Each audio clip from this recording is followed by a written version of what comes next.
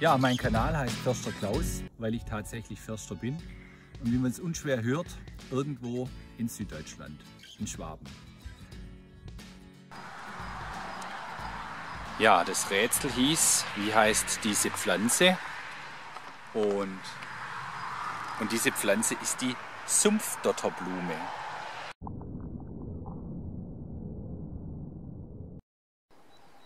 Guten Morgen. Heute habe ich leider traurige Nachrichten für alle Tierfreunde, aber so ist es in unserer Kulturlandschaft. Hinter mir seht ihr Bahngleise, hier führt also eine Bahnlinie und es führt dazu, dass ähm, ja, hier die Tiere einfach ähm, einer Gefahr ausgesetzt sind, nämlich den fahrenden Zügen. Bei der Straße ist es aber das Gleiche, sei es die Autobahn oder sei es auch einfach nur der Ortsverbindungsweg. Und hier gab es heute Morgen einen Wildunfall. Hier wollte ein Wildschwein über die Gleise wechseln, sagen da die Jäger dazu. Und äh, leider kam die Bahn angefahren und hat dann das Wildschwein tödlich erwischt. Ich zeige das jetzt nachher mal, aber die, die es nicht sehen möchten, möchten, drücken einfach auf die Pause-Taste oder machen den Film aus. Aber auch das gehört zu unserer Kulturlandschaft hier. Der Mensch beeinflusst die Natur auf vielfältige Art und Weise und das ist einfach auch eine. In dem Fall jetzt eine traurige, aber das ist die Realität.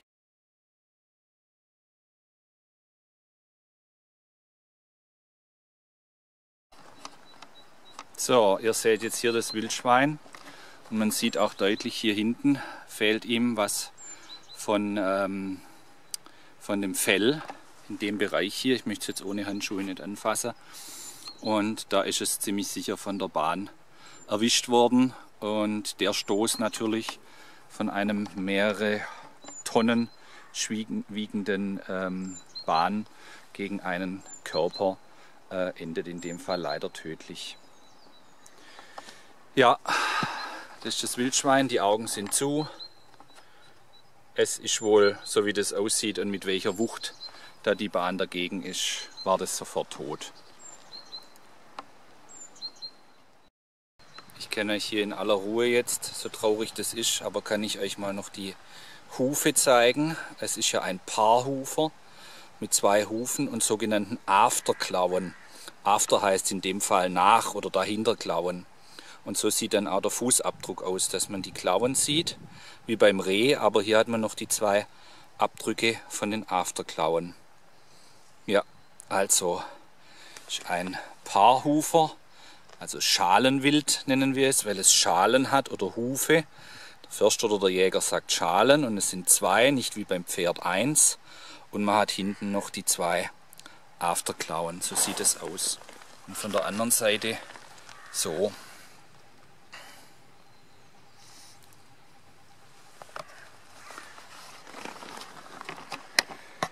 Ja, der Anlass ist traurig, wie gesagt. Ähm, er ist Realität in unserer Kulturlandschaft und kommt immer mal wieder vor. Die Tiere müssen jetzt entsorgt werden. Äh, zur sonstigen Verwertung sind die nicht mehr möglich. Die gehen jetzt quasi in die Entsorgung, äh, man könnte sagen, in die Verbrennung. Genau, die werden dann abgeholt, gibt es extra einen Dienst in Deutschland, ist toll gemacht und werden dann entsorgt. Jetzt gibt es noch das Rätsel für heute. Hier ist das Rätsel des heutigen Tages. Ich bin hier vor einem Ameisenhaufen und ihr könnt erkennen, hier ist noch gar nicht so viel los und in der Mitte hier ist so ein Loch. Und dieses Loch haben nicht die Ameisen gemacht. Dieses Loch hat ein anderes Tier gemacht. Und das Rätsel des Tages heißt heute, wer hat denn dieses Loch gemacht? Und warum hat er das gemacht in diesen Ameisenhaufen? Ich schicke einen Gruß nach Haus von Förster Klaus und sage Tschüss und Ade.